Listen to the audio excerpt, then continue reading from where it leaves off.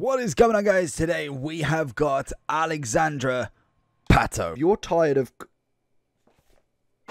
You're tired of coming up against teams that want to rip your hair out every single day? Make sure you check u7buy.com for the most reliable and cheapest coins on the market. And at checkout, make sure you hit that JT11 for 5% off your order, and hopefully, you have a good day.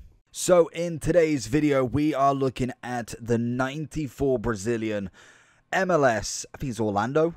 Yeah, Orlando City Pato. What a player. Again, he is coming up clutch with the premium version of himself, which is always nice. You know, I love this card. Only an 85 rated SBC with one Brazilian required.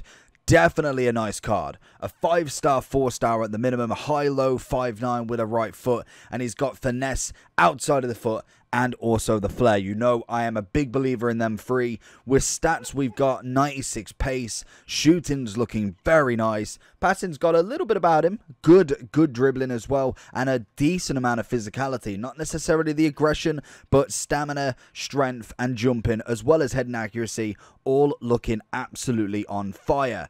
People are looking straight away in terms of chemistry style at the marksman, I believe. So that would give you 98 shooting as well as dribbling and 93 physicality, taking him to a 97 rated striker. We're going to jump straight in. We're going to put the marksman on him and we're going to go into the Brazil Cup. Why not? Into the first leg and wow. Into Pato. Very, very tough opponent. You can normally tell as soon as you see moments R9. Half the time you're thinking solid. And Pato first touch of the ball, manages to whip that corner in. Like I say, the passing is very nice sometimes to have that big upgrade. Garrincha down the wing. We've got Pato in support. There it is. Into Pato's feet and Marquinhos. This guy's defending ability. Very, very top notch. Good interception from Pato. Melito just, oh, what, a Mil is it Militao? He's playing Militao at DM. Very interesting at time. Into Pato. What can we find? Going to look onto his left foot. This time we should have passed it. I saw the opening. I thought he may have been able to do something. So we might get lucky here. The aggression side of him is not going to really win that battle back. Strength is good. Aggression to get that ball back so far is uh, lacking. Into Pato again. Left foot this time, and he manages to get it. That's all he needs. Beautiful this time. The first one, I honestly, looked like he scuffed the shot entirely. That one was absolutely pitch perfect. Pato over the top. He's got R9 in pursuit. Going to whip a ball early. R9 with a header. Militao has different ideas. Into Pato again. Get the little speed. I was hoping for maybe a slide or something. Oh, that's a lovely bit of play. Pato R9 rushing to the aid of Garrincha. Trying to find something. Finds in Neymar. Beautiful link in. All of the Brazilians working very well there. And I believe we got a rage quit. Lovely bit of dribbling from Pato. He's going to play the easy ball out. Garrincha back into him. Looking for that easy ball over the top. Garrincha not quite getting there this time. A little bit too much mustard on that one. Pato juking round. Finds a bit of R9.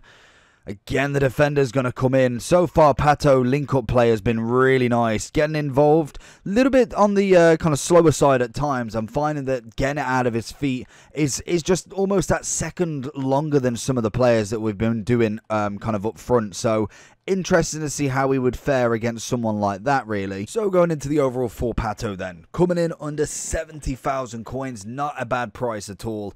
In terms of the card itself, he's nice and I think definitely might help some of people's Brazilian teams. But we have had the Brazilian icon, we've got Brazilian um, campaign bag practically there's a lot of Brazilian players that you could put in that position that, yes, maybe not as expensive as him or more expensive than him in terms of efficiency for coins. If we just have a look at the Brazilian strikers here, uh, obviously Pele R9, the two big ones, even a Marcelo Shapeshifter, solid, solid striker. You look at their Neymar, Vinny, you look at, uh, keep going down, Ronaldinho is obviously a massive one. Um, Oscar not as much. We're looking at Coutinho, Richarlison, Rodrigo. I know position wise not quite the same, but again, these are all players that can be striker, left wing, right wing, cam. They're all so highly rated that it's almost it doesn't matter necessarily how you line up with them. It's just matter of where you put them in game. Like I said, a lot of people will probably benefit from this card. He goes into the Brazilian Cup. He's a five star, four star. You can't argue with him. Very big upgrade from his 87 flashback, which is always nice. And he did have a 75 common at the start of the game.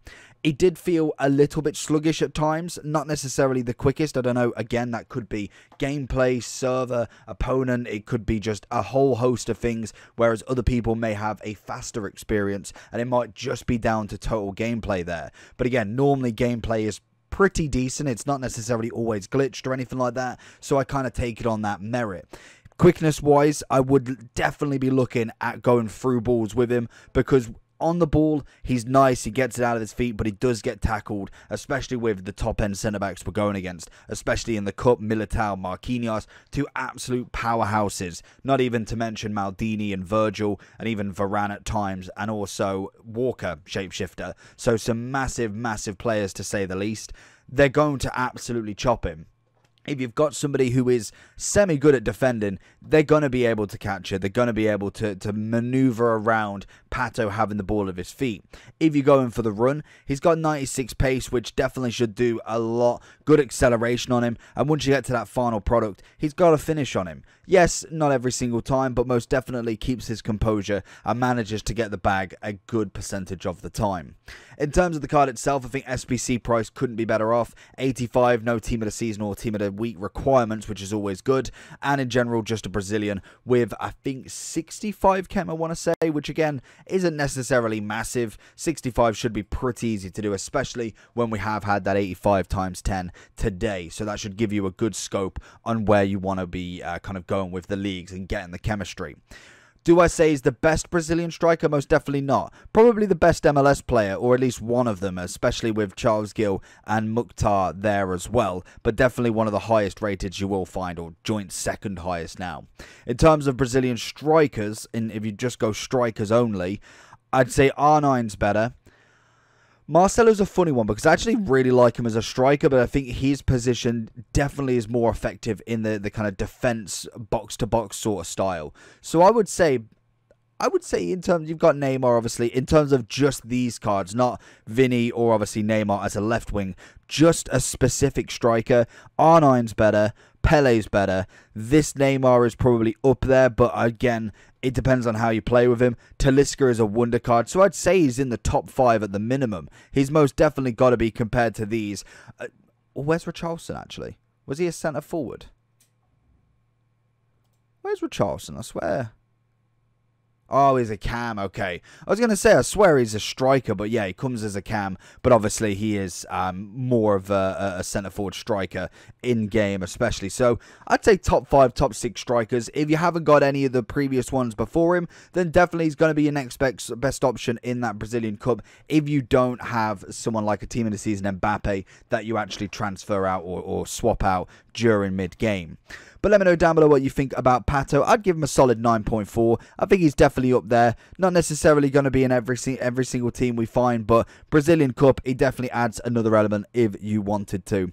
So let me know down below what you think about him. Make sure you like and subscribe and let me know if you are going to be completing this man right here. But for that, make sure you do like and subscribe. Check out the video in the top right or top left hand corner, whichever way I decide to put it. And I catch you all for the next one. Peace.